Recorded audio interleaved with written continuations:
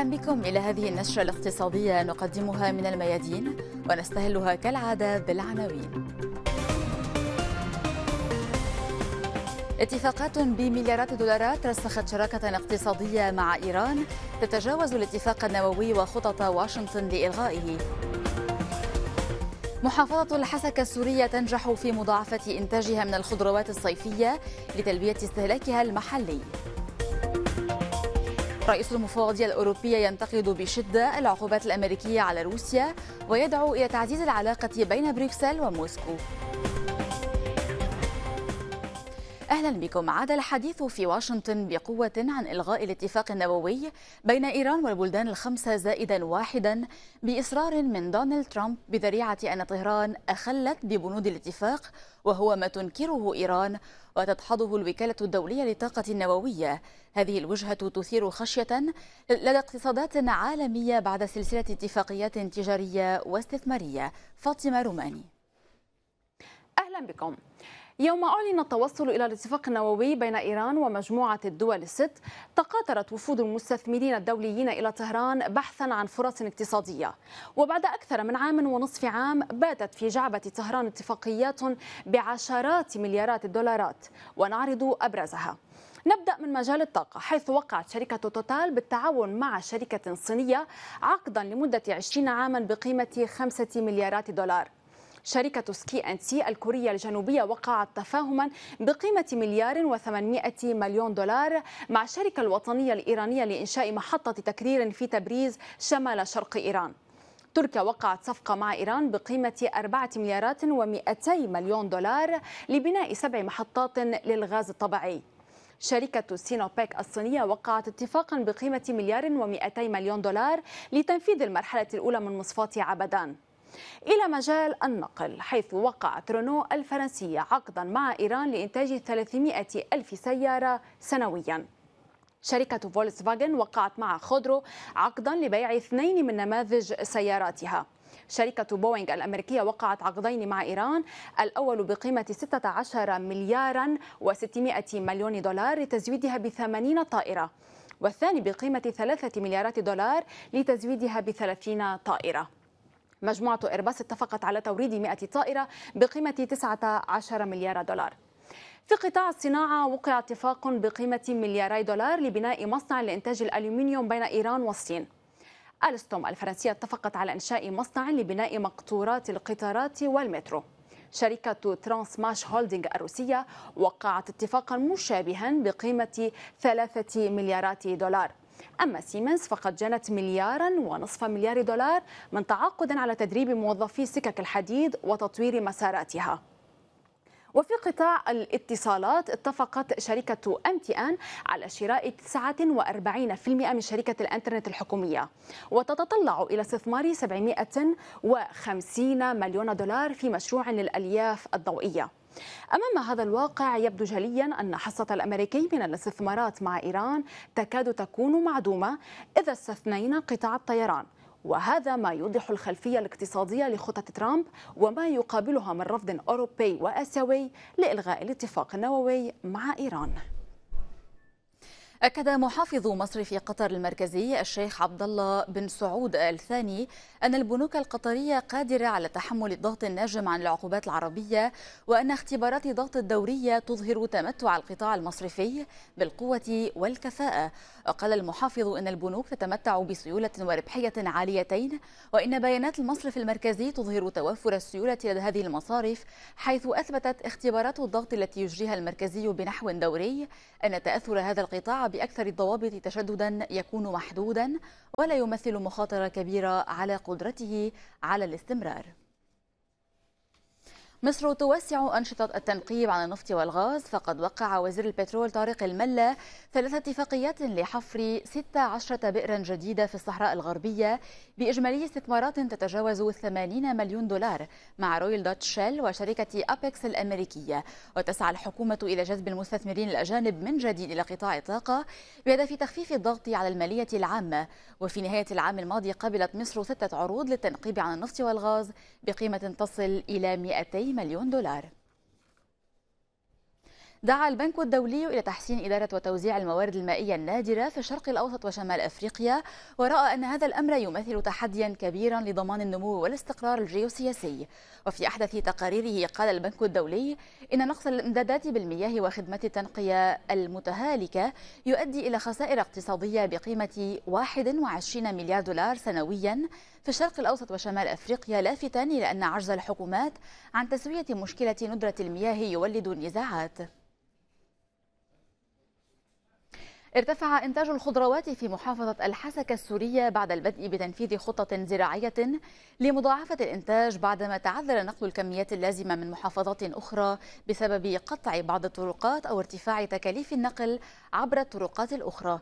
تجربة المزارعين في الحسكة والتفافهم على الحصار الذي فرضه داعش يؤكدان أن المقاومة أشكالا كثيرة ولا سيما في الاقتصاد.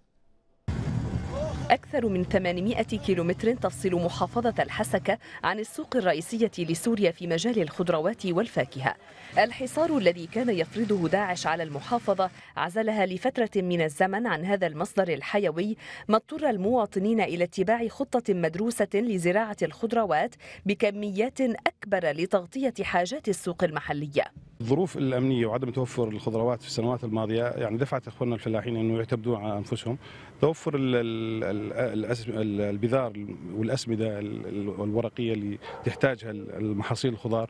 بالإضافة التعاون مع المنظمات الدولية كان له دور بانه ساهموا نوعا ما بزرع ثقافة وتأمين مستلزمات الخضار الصيفية. هذا كان له كثير بالإضافة لاسباب أخرى يعني صار في وعي عند الفلاحين. السبب الأساسي في هذا التحول نتيجة لزراعة هذه المحاصيل الخضروات هو تقطع الأوصال بين المحافظة الحسكة والمحافظات الخارجية. في حين أن الكيلو الواحد كان يكلف على المواطن في محافظة الحسكة أضعاف ما كانت آه، ما كانت تنتج في باقي المحافظات في درعا وفي دمشق. فالتجأ المنتج في محافظة الحسكة إلى زراعة الخضار الصيفية. الخضروات الصيفية تشمل الطماطم والخيار والخس والبامية وغيرها من المنتجات التي تحمل قيمة غذائية كبيرة وتعد أساسية على مائدة السوريين. وقدر المسؤولون في مديرية زراعة الحسكة أن يصل إجمالي إنتاج الخضروات والفاكهة إلى 70 ألف طن نهاية الموسم.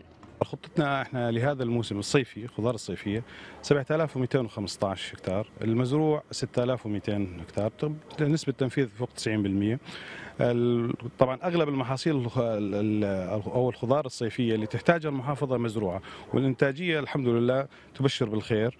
انفتاح المزارعين في الحسكة على نظرائهم في شمال العراق ساعد على الحصول على الأسمدة والبذار والمحروقات ما ساهم في تحقيق قفزة نوعية في مجال زراعة الخضروات الصيفية بعدما كانت الزراعات الأبرز في الحسكة تقتصر على القطن والقمح. رأى وزير التنمية الاقتصادية الروسي ماكسيم أوريشكين أن العقوبات الأمريكية الجديدة على بلاده تتيح فرصا جديدة أمام الشركات الأوروبية للتعاون مع موسكو. وقال أوريشكين عقب لقائه قطاع الأعمال الفرنسي أن العقوبات الجديدة تتيح للشركات الأوروبية إبرام اتفاقيات ثنائية ويتيح أيضا فرصا جديدة للشركاء الأوروبيين وأشار إلى أن نمو الاقتصاد الروسي يتسارع من جديد عقب تباطؤه في تموز يوليو الماضي حيث بلغت نسبته واحدا ونصفا في المئة. وجه رئيس المفوضية الأوروبية جان كلود يونكر انتقادات حادة إلى الولايات المتحدة لتوقيع الرئيس دونالد ترامب قانونا جديدا لفرض عقوبات على روسيا مشيرا إلى الآثار السلبية التي يخلفها على مصالح الاتحاد الأوروبي في مجال الطاقة. يونكر وفي خطاب موجه إلى سفراء الاتحاد الأوروبي أكد أنه ينبغي لبروكسل التفكير على نحو معمق في تحسين علاقاتها مع موسكو مشيرا إلى أهميتها الاستراتيجية في ضمان أمن أوروبا في القرن المقبل. يتعين على الاتحاد الأوروبي أن يجد خطابا أكثر ملائمة في العلاقات مع روسيا ولكن من دون التخلي عن مبادئه. أعتقد أن علينا أن نفكر على نحو متعمق في تحسين علاقاتنا مع روسيا. هذا الأمر يتوقف علينا وعليهم إلا أننا لن نتمكن من بناء نظام الأمن الأوروبي بدون روسيا. من جهة أخرى أكد رئيس المفوضية الأوروبية جان كلود يونكر أن على بريطانيا أن توافق أولا على شروط انفصالها عن الاتحاد الأوروبي قبل البدء بأي محادثات بشأن ترتيبات مرحلة ما بعد بريكسيت. تعليقات يونكر تزامنت مع انعقاد الجولة الثالثة من محادثات بريكسيت في بروكسل. يجب أن يكون واضحا جدا أننا لن نبدأ أي مفاوضات حول العلاقة المستقبلية قبل الاتفاق على كل المسائل المتعلقة بالانفصال أي طلاق المملكة المتحدة من الاتحاد الأوروبي. قرأت بكل الانتباه الضروري جميع الأوراق التي قدمتها حكومة المملكة المتحدة لكن أي منها لم يشعرني بالرضا. ولذا هناك كمية كبيرة من الأسئلة التي يتعين التوصل إلى حل لها. توقع الرئيس الأمريكي دونالد ترامب أن تكون إعادة إعمار تكساس طويلة وصعبة بسبب الأضرار التي سببها أو سببتها العاصفة المدارية هارفي. الرئيس الأمريكي رحب بتنسيق عمليات الإغاثة بين السلطات الاتحادية والمحلية وكانت حاله الطوارئ الفيدرالية قد أعلنت في لويزيانا كما حصل في تكساس لتوفير مستلزمات الإغاثة والإنقاذ.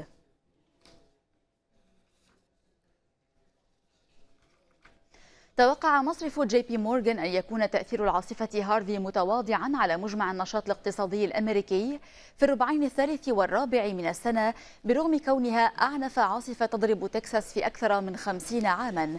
وبناء على أبحاث المصرف نفسه ودراسات خارجية تقدر تكلفة الأضرار المادية للعاصفة بما بين 10 مليارات و20 مليار دولار أي ما يعادل واحدا في الألف من إجمالي الناتج المحلي للولايات المتحدة.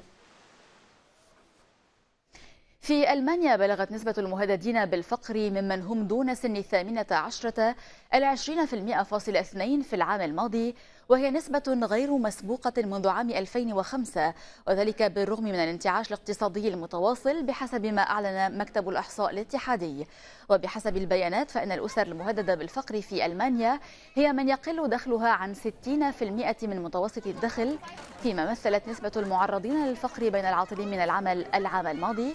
57% بتراجع قدره 2% فاصل واحد في العام ما قبل الماضي.